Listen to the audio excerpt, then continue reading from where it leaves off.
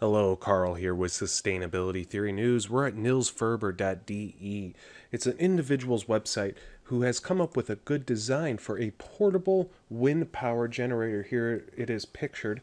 It's basically got a well nylon or canvas style sail that folds out and is supported by these cables or nylon strings and it collapses to the size of an umbrella. You can use it to charge your phone or put into a battery pack. It says it has a constant output of 5 watts at 18 kilometers an hour wind speed, which I guess isn't too bad, especially considering the size and portability. And if you put it up to a battery pack, that could certainly be enough to charge your phone.